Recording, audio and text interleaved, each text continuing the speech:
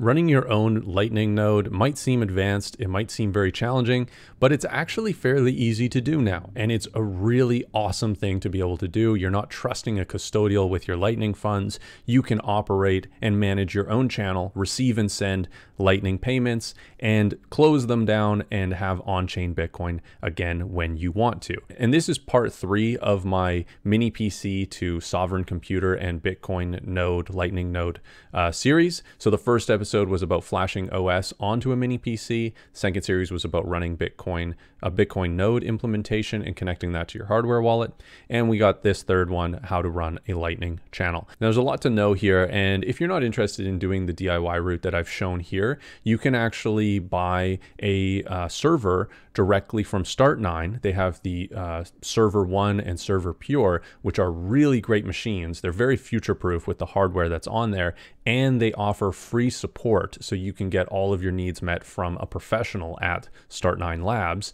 And you can use my code BNC to get 5% off of one of these devices. There's a link for that in the description. One last thing before we get started I am a Bitcoin educator and I do one on one coaching for best practices with Bitcoin, security needs, and any kind of basic questions you might have. You can book me for a one on one consult and coaching session through the link in the description as well. Now, let's get into how to set up a Lightning channel and how to balance it, how to loop out, how to have inbound, outbound liquidity, and what this all means means. Let's get into it. For this tutorial, we're going to start by downloading LND, ThunderHub, and Lightning Terminal. These can be found in the Start9 marketplace or the community directory. Once these are synced up and the dependencies have been resolved, which most of them are just Bitcoin Knots or Bitcoin Core, we will launch ThunderHub. Your password for your ThunderHub account will be in config on StartOS under ThunderHub. First thing we need to do is fund our on-chain wallet on ThunderHub. So under Bitcoin on ThunderHub main page, go to receive and it'll generate a QR code and a Bitcoin on-chain address. For most channels, you'll need more than a million Satoshis to open up a Lightning channel. So I would recommend sending around a million and forty thousand sats. Now we need to find a lightning channel that you want to open up your channel with and connect to. We can go to a website called 1ML and there's a bunch of different options on there depending on how connected you want to be. For this tutorial, I connected to ACINQ, which is the most connected node. So on 1ML, click the lightning channel you want to connect to and copy this address here. Now on the main dashboard of ThunderHub, we click open and we are going to connect to a new peer. We will paste that into the new node section. Then we'll either do max size of channel or 1 million sats or 1 million sats plus. Then we can select our fee or we can just do auto and then we press open channel. This will send a transaction onto the mempool and it will take quite a while depending on if you have Tor selected or not, which with Start9 it's automatically selected. For me, it took around six confirmations. So when this channel is opened, we have all of the sats in our outgoing side of our channel, which means we need to balance that if we also want to be able to have incoming transactions as well. So right now we can only send Bitcoin. We can't really receive Bitcoin on the Lightning channel because our channel is out of balance for inbound and outbound liquidity. So what we do is we will set up a loop. And basically, I believe what this does is it sends out Bitcoin and receives it back to the same channel. And there's a facilitator that does that for you and some fees associated with it, but it helps you balance those channels. So to do this, let's go to Lightning Terminal. And again, the password for that is in your config. Then we go to loop on the left and press loop out and select the amount that you want to do. You typically want to do a, a larger amount because this is going to have some fees associated with it. So you don't want to do this multiple times. You want to do this as less as you can so that owning a lightning channel and operating it doesn't end up being expensive for you. The fees for me are only 0.31% or 900 sats for a 300,000 sat uh, loop. So now my channel is a little bit more balanced. I have inbound and outbound liquidity. It's a smaller channel, but for personal use, this could work. I could receive sats, I could send sats, and have it completely custodial. Here's an example of me actually sending myself some sats.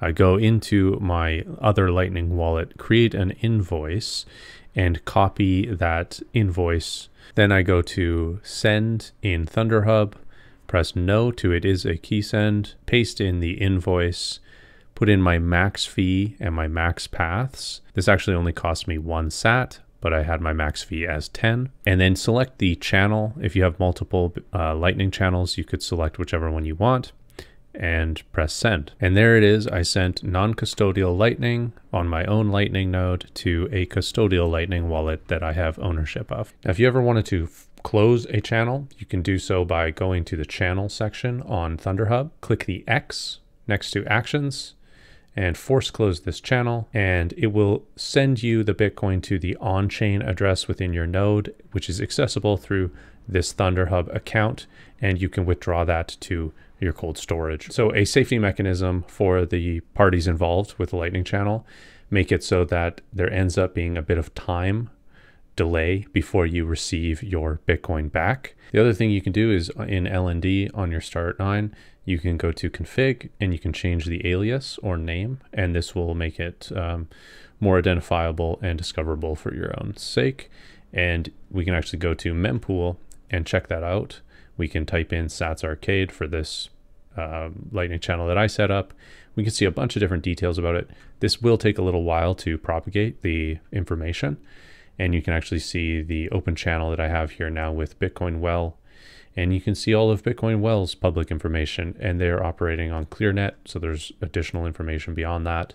And they're connected. They have 26 channels open and one of them is with me with Sats Arcade. The other thing we can do in LND is if you go to properties, the bottom one, the LND cipher seed, is actually your 24 words. And this is something you could write down for recovery if you ever needed to, if you lost ability to get to your Start9 or something like that.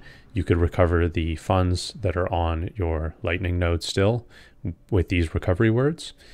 And you can also back this up. This is an important thing to do on um, your Start9 anyways, which is go to system, go to create backup, plug a flash drive into the, your mini PC or your Start9 server and backup all of your information. You probably want, I would say, at least a 8 gigabyte flash drive to do this on. And you can also do a network backup, which I haven't done yet, but I will make a future video on all of the details about backing up your information properly. So that's really about it. It's really not that hard once you figure it out. There's a few little things like making sure that you set up a channel with more than a million Satoshis, connecting to an active channel so that you don't get stranded, changing that inbound and outbound liquidity. And now you have a fully functioning non-custodial lightning channel running on your own server connected to your own node, and you are a lot more sovereign because of it. Again, this is part three, so I do plan to make more series of this mini PC StartOS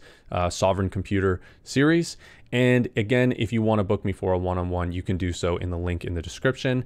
A few other sponsors and affiliates that support this show, uh, Bitcoin Well, non-custodial Bitcoin exchange. If you send them dollars, they send you Bitcoin directly. It's my favorite way to buy Bitcoin, and you can get free Bitcoin on sign up using my link in the description. If you need a hardware wallet, I would recommend the Jade or Jade Plus. There's an affiliate link in the description as well for that. And if you want to get 15% off of Stampseed's Titanium Seed Plate Kit, which is a great way to preserve your seed phrase for future generations and for yourself, you can do so with my code BTC not crypto 15.